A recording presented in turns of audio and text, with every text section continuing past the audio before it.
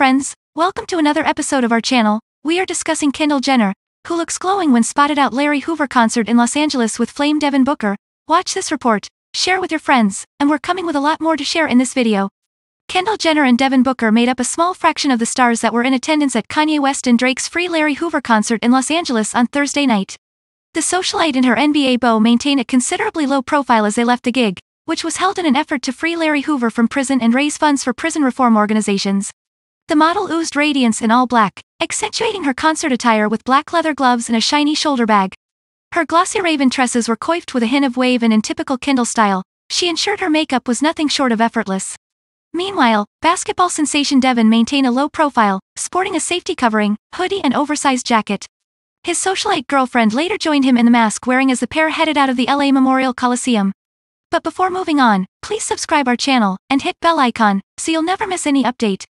Kanye and Drake alongside a slew of other stars have been advocating for the release of Hoover, a former gang leader who was convicted of murder in the 1973 and is currently serving a life sentence. Among members of the Kardashian clan, stars included Megan Fox, Machine Gun Kelly and Lizzo, gathered at the outdoor stadium for the $10 million show, which Kanye dreamed up, putting his differences with Drake aside in a bid to help Hoover, following his meeting with Donald Trump in the same capacity. Kim was spotted in the venue with her and Kanye's daughter North, 8, son Saint, 6, her sister Kendall Jenner, sister Kylie Jenner's ex Tyga, her mum Kris Jenner and Kris boyfriend Corey Gamble. Kim's presence at the gig was particularly poignant as Kanye referenced his ex while he performed his hit Runaway, adding a new verse, directed at Kim, saying, I need you to run right back to me. More specifically, Kimberly, Kim filed for divorce in February after six years of marriage yet Kanye has made several public and increasingly bizarre bids to reunite with the stunner in interviews and on stage. Kanye previously made his case to free Hoover on a track on his recent Donda album where he had a voice recording of Hoover's son Larry Hoover Jr. thanking him for bringing attention to his father's case. Back in 2018, Kanye had asked then US President Trump to pardon Hoover but the request was not granted.